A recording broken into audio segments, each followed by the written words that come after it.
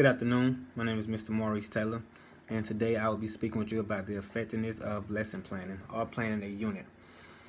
Uh, over my over the course of three years here, I've been at Charles Hart Middle School. I have the uh, opportunity to witness firsthand several wonderful teachers in the classroom. Uh, I also had the opportunity to sit down with some of them here and there, not going in very depth conversations, but like in conversations we may have within passing when it comes to lesson plan and what's their idea or their opinion about lesson plan. Uh, and for my personal opinion, just gathering opinions from everyone else, I think the most important piece is just planning ahead of time. Uh, when it comes to having an effective lesson plan or just an effective unit for the period uh, or term, I feel that it's great to plan ahead because you get to see like the loopholes that you may have in your lesson plans, uh, knowing exactly or just having an expectation where you kind of expect your kids to struggle with certain steps due to their prior knowledge or prior skills you all may already have worked on throughout the year. Uh, and you would just have a better idea of how to execute the lesson plan because you already planned ahead of time and so you have your expectations for yourself as a teacher and as the kids within your classroom environment. So uh, with that being said like i said i just think that planning ahead of time is the best and most important thing. And when i say plan ahead of time i mean probably at least try to have like a week or two out in advance. Uh, also when you plan ahead of time you get to see what part of the lesson or what part of the skills you may need to revisit. Uh, so when it comes to planning ahead of time and actually writing information out on the calendar, and for an example, you have on Wednesday you're going to do lesson five, but on Monday or Tuesday you all struggle with lesson four, then you know that on Wednesday you may need to revisit lesson four and push other things back. So, uh, like I said, planning ahead of time is very great.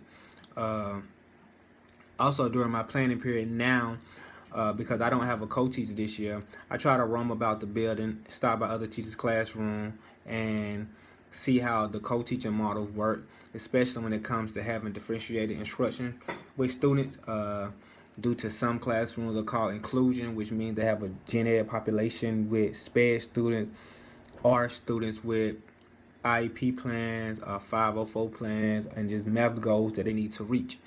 Uh, but another thing is that the, the benefit of planning ahead is being able to sit back and see how your lesson plans unfold. Just being able to see like where when you reteach this, where you as a teacher can be better at, where you as a teacher can dig deeper with your students to help them reach their mastery level. Mastery level. Uh, so, I mean, I guess I keep going back to the same thing about how important it is just planning ahead of time. Uh, one thing I did when it comes to one thing I have worked on when it comes to effective lesson planning is just coming up with different strategies to check for understanding because uh, when it comes to teaching or just lesson planning, that to me is like the second most important piece. Just throughout the lesson while you're teaching, just continue to check for understanding.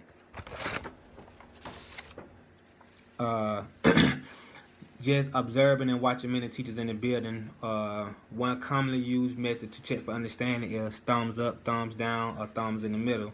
That way you don't have to, if you're not able to pretty much roam about the class, if you're stuck at the front of the classroom, you can just ask the kids, okay, thumbs up if you uh, if you're with me, if you understand what's going on, thumbs down if you're not, uh, thumbs to the side if you kind of confused or just in the middle. Uh, so I mean, but there's also other methods I came about within the building and just other methods I have tried myself throughout the year. Uh, so now that, I mean, so now I know that one thing for check for understanding, uh, one of the great, that's also one of the great things I have seen my mentor teacher do also is, I mean, a method he uses for checking for understanding. Checking for understanding, just, I mean, just by having conversation with some of the teachers, uh, so many of the teachers who actually like veteran teachers, they would tell you that they tend to check for understanding very, very often, not periodically. Uh, just by checking for understanding, that allows you as a teacher to also know then should you proceed in your lesson or should you stop uh, and try to help those who are struggling at the time. Uh, I have saw my mentor teacher do this a lot uh, when I observed him teaching with the thumbs up, thumbs down method.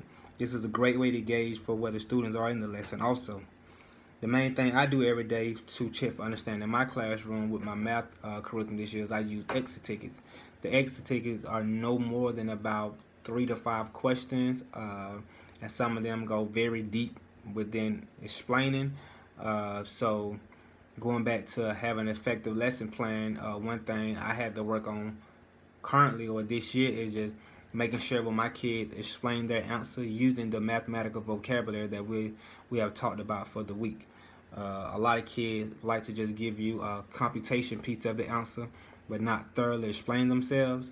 So when it comes to me doing my lesson plan, uh, I kind of write down exactly how I want them to answer the question, like what format of the sentence, using what termino terminology for this particular answer.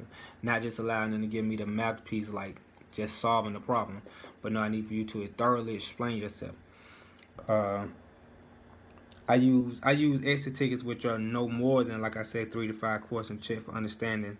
But the exit tickets help also with the reflection piece. So once you go back to doing a lesson plan, and you are pretty much trying to figure out what you can do to better the lesson the next time you teach it if you need to reteach it is going over the exit tickets with yourself then going over them with the students and allowing them to see their mistakes that they made and how they can better themselves. But also when it comes to lesson planning I figured out too that I need to try my best to get back or give them back those lesson tickets in a timely manner so they won't be waiting to see actually what they scored on the lesson plan. Uh, I know sometimes it could be hard for, for me to grade things on Monday and get back to them by Tuesday or Wednesday sometimes. So just planning ahead of time gives me the, the freedom to know that, okay, well, if this is going to be an answer, now when I'm walking around the room while they're doing the exit tickets, I can pretty much gauge at their paper like, okay, you may need to work on this because this answer not going to be acceptable because I already have an idea during during my lesson planning how they should answer that particular question. Uh, and also with the exercises, it tell me if I need to step back and possibly reteach that lesson again.